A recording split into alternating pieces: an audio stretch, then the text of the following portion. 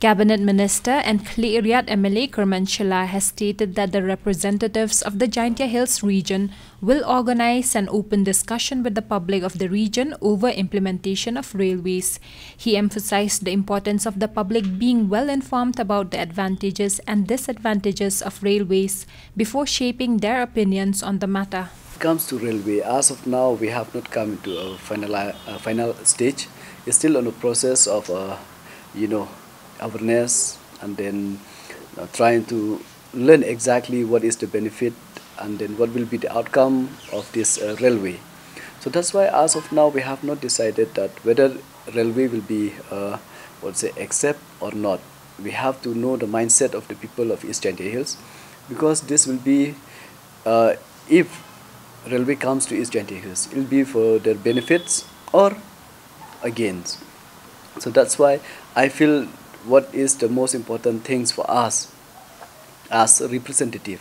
What we need to do is that try to get information and then try to get uh, either the support or against of the public so that we will bring to the notice of chief minister and then the government will decide then how do we go about it as of now we have not uh, uh, so sure that whether it will be uh, whether we can convince or whether the public will be against because until unless we have seen that few uh, NGOs uh, they give their uh, views and they send their memorandums of what to say opposing the train.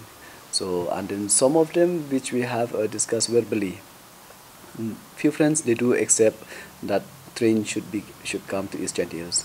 But uh, from my side what I feel the most important thing is that we should do homework by ourselves and then before we comment to anything and then before we jump to a conclusion we need to learn that what is the outcome.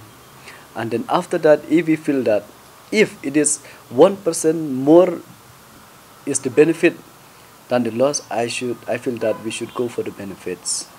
And if i feel that it is uh, uh, what to say it'll be a problem for us then why do we need trains if it is a problem later on for the people of our state especially and even for the people of East Jaintia Hills. Yeah, actually regarding with this, the moment we got, uh, you know, uh, after we get this, uh, uh we heard from the Chief Minister that uh, this proposal is there to implement and then to bring the train station in Meghalaya, especially in Khasi Hills or Jaintia Hills.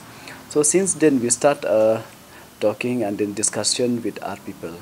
I believe even the other MLAs are doing the same, especially both of us, me and Santa Mary. So verbally discussion has been done most of uh, whenever we have a time, especially those group, uh, different different groups. So that's why not everyone support, not everyone are against.